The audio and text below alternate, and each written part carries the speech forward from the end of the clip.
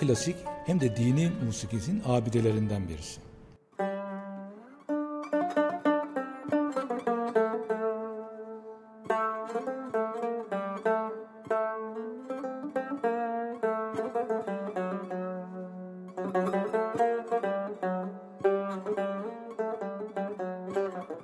çok yönlü musiki şinaslarımızdan birisi.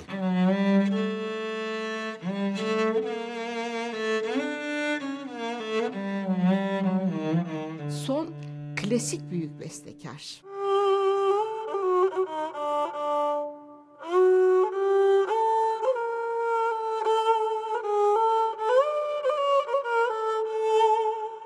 Olağanüstü bir bestekar.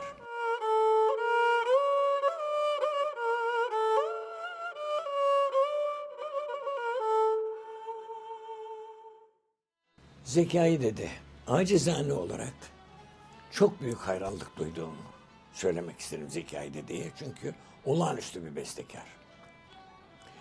Eserleri, makamı o kadar güzel, usulleri o kadar güzel kullanmış ki bu çok akıcı. Bestekarlığı, icracılığı, hocalığı ve bunun yanında e, diğer güzel sanatlarla da meşgul olmuş olan bir sanatkarımız. Mesela hattatlığı önemli. E, bunun yanında eskiden sanıyorum önem verilirmiş ve muhakkak söylenmesi istenilmiş hafızlığı var. Nihale yine bağlandı dil bir nev nihale.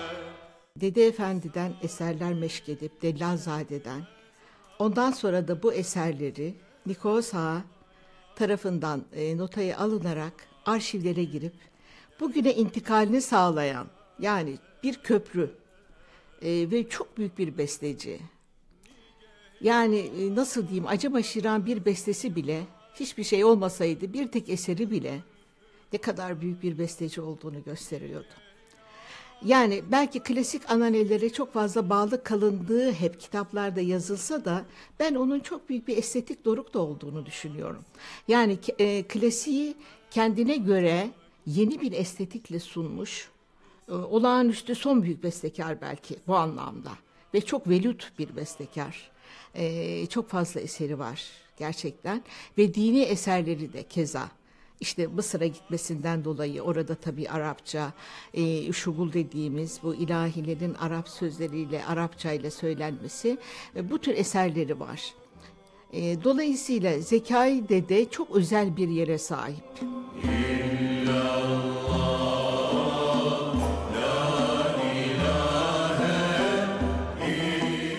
Efendim kendisi ilk mektepte okurken amcası tarafından aynı mektepte e, Kur'an-ı Kerim hocasıymış ama amcası tarafından Kur'an-ı Kerim eğitimine başlıyor. İlk mektebi bitirdikten sonra Eyüp'te e, çalışmalarına devam ediyor ve e, 19 yaşında hafızlığını e, tamamlıyor. Yine aynı şekilde e, kendisi ilkokulda okurken aynı zamanda hocası olan e, babasından ilk hat çalışmalarına başlamış. Ve mezun olduktan sonra yine e, bu çalışmalarını devam ettirmiş. Ve daha sonra e, 19 yaşında enteresandır. Hem hafızlığı hem de hattatlığı 19 yaşında babasından e, hattatlık icazetnamesi almış. Ve hatta o hattatlık icazetnamesinin altında o dönemin bütün önemli e, hattatların imzaları vardır icazetnamelerin altında. Bu çok önemli. Ayrıca yine o dönemlerde e, meşhur e, besteker hattatımız vardır. Kazasker Mustafa İzzet Efendi. Ondan da bir sene kadar nesih ve sülüs e, dersleri almış. Kendisi nesih ve sülüs e, yazılarında e, örnek bir kişidir. Ve hatta e, babasının ölümünden sonra, babasının ölümünden sonra e, Eyüp'teki iki iptida mektebine yani ilkokul mektebinde e, hayatının sonuna kadar nesih ve sülüs dersleri vermiş. Yani hat, hattatlığı gerçekten e, bestekarlığıyla beraber gitmiş olan bir sanat.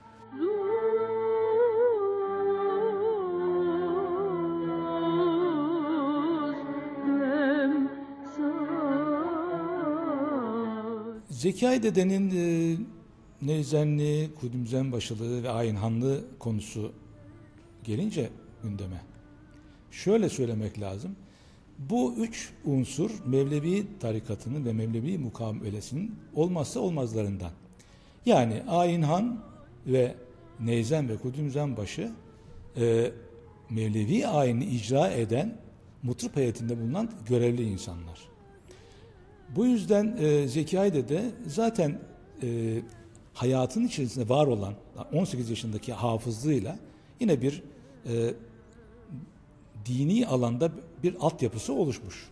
Daha sonra Dede Efendi'nin öğrencisi oluyor ve bu icraatı yapabilecek ortama ancak 43 yaşında e, yeni, e, Yeni Kapı Mevlevihanesi'ne e, girmekle, oraya intisap etmekle başlıyor. Şimdi e, burada tabii ki yapacağı iş itibariyle e, ilk yapacağı ayinhanlık. Neyzenliği konusunda yani kaynaklarda böyle bir elimizde çok fazla belge yok. Hatta yok gibi. Onunla ilgili bir e, yazı da yok. Ama ayinhanlığı konusunda e, bulunduğu tekkelerde yani Mevlevi tekkelerinde bulmuş. Daha sonra e, önemli olan Kudüs'den başılığı ise e, Bahariye Mevlevihanesi'ndeki Arif dedenin vefatıyla boşalan bu mertebeye kendi talebesi olan şey Hüseyin Fahrettin dedenin davetiyle oraya gidiyor ve aşağı yukarı orada da 60 yaşında ve dedelik makamına burada e, ona dedelik makamı burada veriliyor. Ve bu e, Kudümzen başılığı da e, 13 yıl boyunca ölümüne kadar, vefat edene kadar burada sürdürüyor.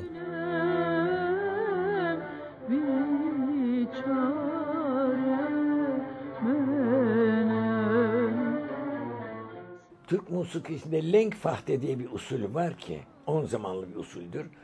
Zekayde deden daha iyi kullanmış bir bestekar yok. Çok kişi kullanmış. Mükemmel kullanmışlar ama Zekayde dedeki uslub o usulün kullanılışı hiçbir bestekarda yok.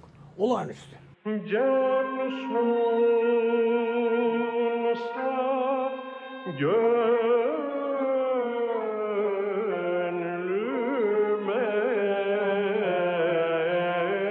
Klasik eserlerin yani bizim e, özellikle bahsettiğimiz beste ağır semai ve yürük semai formlarındaki eserleri gerçekten klasizmle birlikte günümüzün e, anlayışına uygun diyeyim. Yani modern demeyeyim ama biraz daha klasikten geçen çok farklı yapıları var.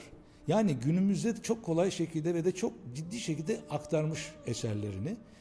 Ee, mesela İshar Busek Yürük Semaisi olağanüstü bir eserdir ve insanda çok enteresan bir his yaratıyor. Ee, yani biz icralarımızda, mesela ben kendi kişisel icramı söyleyeyim, koroda yönetirken bu eserde çok bambaşka bir hissiyat hissediyorum. Yani hem klasik dönemi, onun yaşadığı dönemi hem de bugüne aktarılmış bir havaya yaratabiliyorsunuz. Sözleri bugünü anlamayabilseniz bile.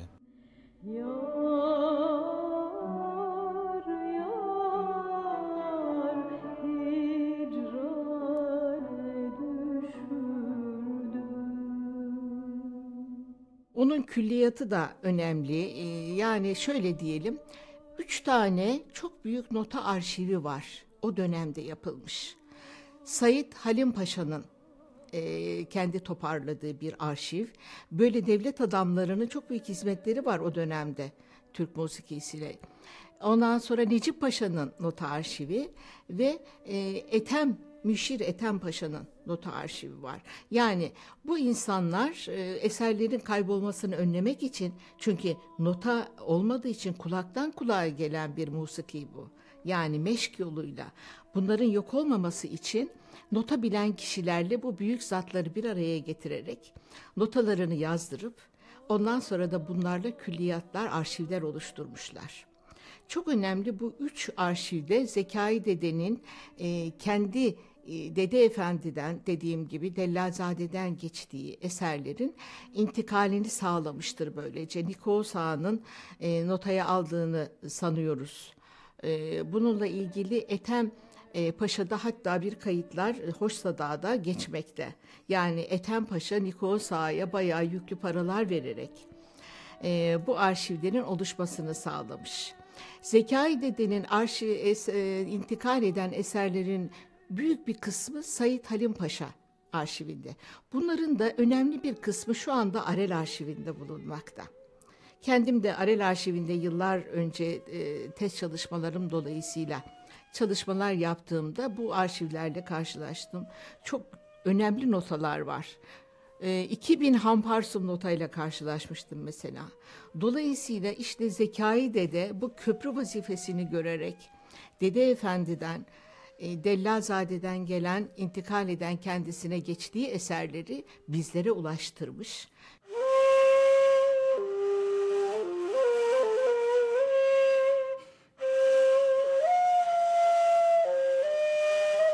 Tabii dede müthiş artık dorukta ama Zekai dede onun gölgesinde mi kaldı? Hayır. Bazıları öyle der ama ben katılmıyorum. Ee, bence de o çizgiyi devam ettiren ve aynı zamanda müthiş bir hafızası olan besteci. 2000'e yakın eser bildiği söyleniyor. Müthiş bir bize arşivi, geriden gelen arşivi nakleden bir üstad.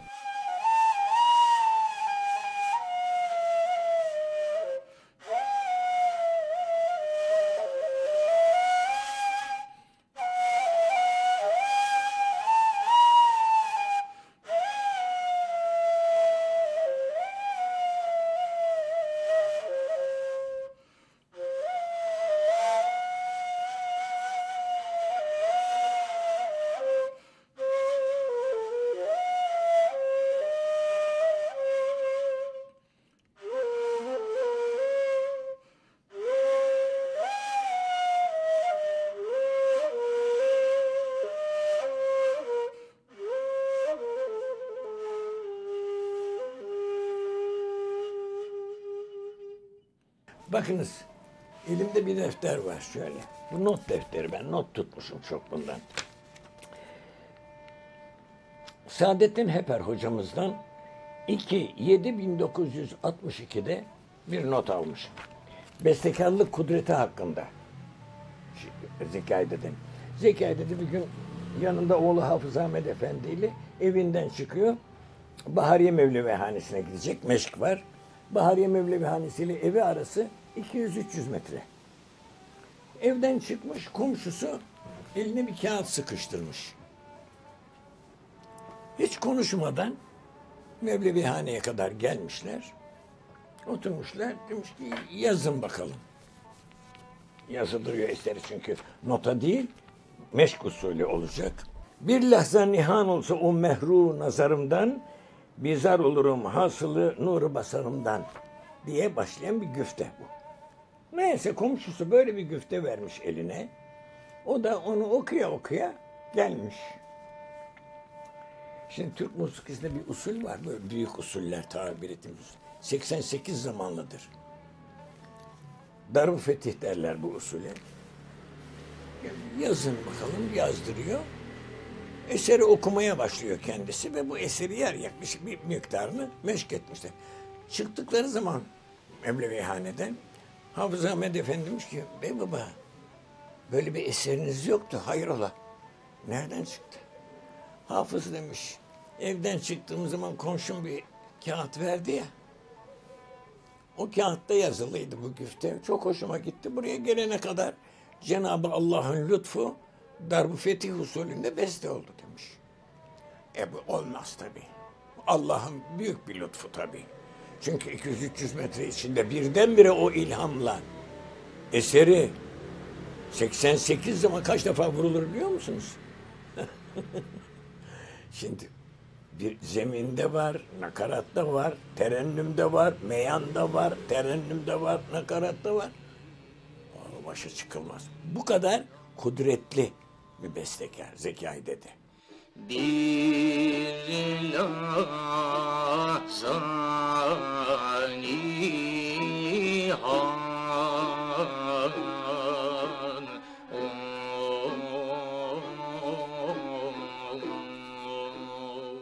Mevlevik tarikatı o dönemlerin en popüler e, ve daha doğrusu musiki eğitiminin de en ciddi şekilde yapılan e, alanlar olduğu için e, Zeki Aydın de burada e, beş tane Mevlevi ayini, ayini besteliyor ve bu ayinlerdeki en önemlisi e, bir sene içerisinde dört tanesini besteliyor. Yani demek ki burada e, e, tarikatın içerisinde içinde bulunduğu hem bu görevlerde hem ayinhanlığına hem de kunduzan başlarıyla e, tamamen içerisine yani iliklerine kadar işledikten sonra oradan demek ki ciddi e, bu kadar kaliteli eserler geliyor.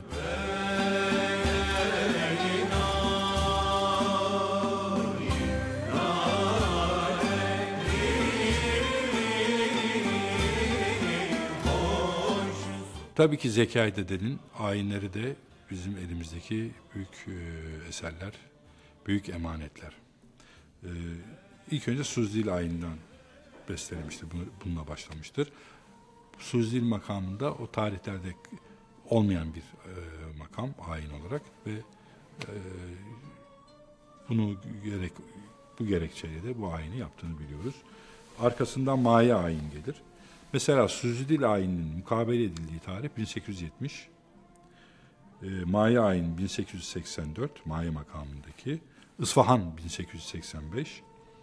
Suzinak e, yine 85. Sabah Zemzeme ayini yine 85. Yani şöyle baktığımızda 1870 ile 85 arasında bu 5 tane makamda ayin vücuda getiriyor. E, ayinlerin hepsi çok güzel.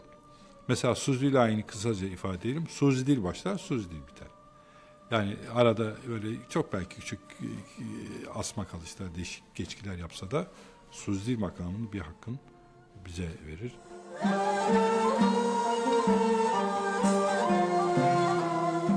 Suzi Mevlevi ayini e, olağanüstü bir e, eser. Yani içindeki makam yapısı, geçkisi e, her icra ettiğimizde bambaşka bir duygular elde ediyoruz. E, tabii Mevlevi mukabelesinde aslında mesele ibadet olduğu için biz tabii e, ayinin besteli müziği üzerinde konuşarak söylüyorum. Ki inanıyorum sema eden semazenler de bu e, şeyde zikirde bu eserler yani bilhassa Zekai Dede ve Dede Efendi'nin ayinlerindeki sema anındaki hissettikleri huşuğunun e, üst düzeyde olduğunu hem duydum hem de hissediyorum görsel olarak.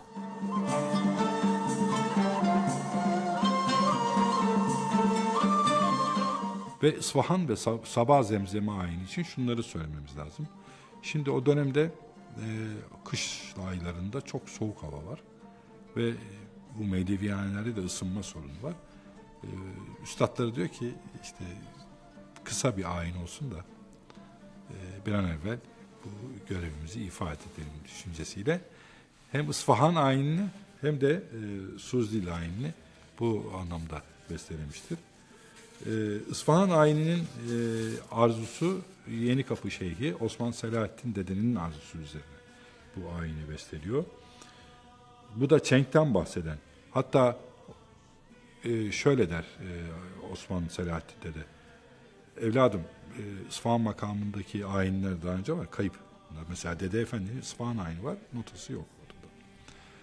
Bundan dolayı Osman Selahattin dede diyor ki bu makamdaki ayin olmadığı için sen bundan bestelesen, veyahut da bize bir ayin bestele diyor. Açıyor Mesnevi'yi.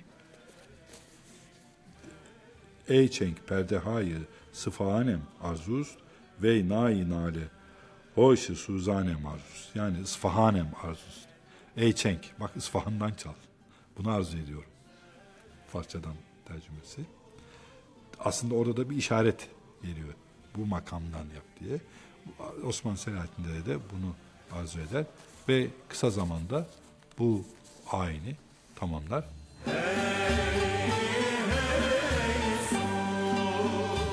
Son klasik büyük bestekar. Fakat çok fazla klasik analelerin içinde boğulduğunu düşünmüyorum ben şahsen. Çünkü içeride bir özgürlük havası da var.